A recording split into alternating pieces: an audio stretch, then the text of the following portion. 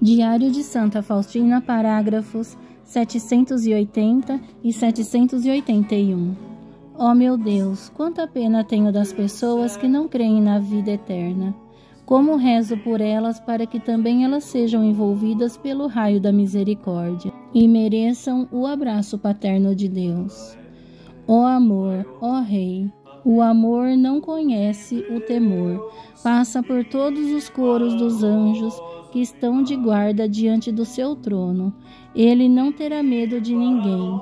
Ele atinge a Deus e mergulha nele como em seu único tesouro, o próprio querubim que vigia o paraíso, empunhando a espada de fogo. Não tem poder sobre ele. Ó puro amor de Deus, como és grande e incomparável. Ó se as almas conhecessem o vosso poder. Jesus, eu confio em vós. Santa Faustina, rogai por nós. Quando cair o véu em toda a plenitude,